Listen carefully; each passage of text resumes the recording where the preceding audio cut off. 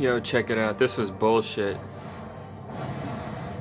Me and my mimic are fucking owning her right now. But she roundhouse kicks us both, dude, and then she goes into this psycho mode.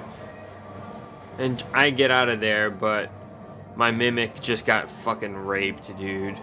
Raped? Great. Now I can't rely on the genius pussy strategy of hiding behind the fucking mimic.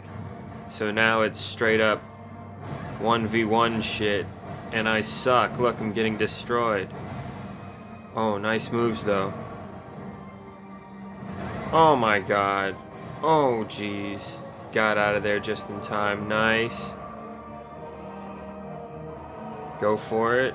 Cut that fucking winged lady. Why does she have wings?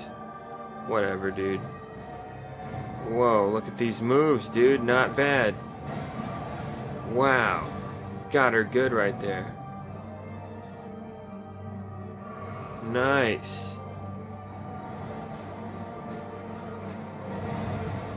That's what you want to do, man. And wait for an opportunity to run in there. That's how you do it, man.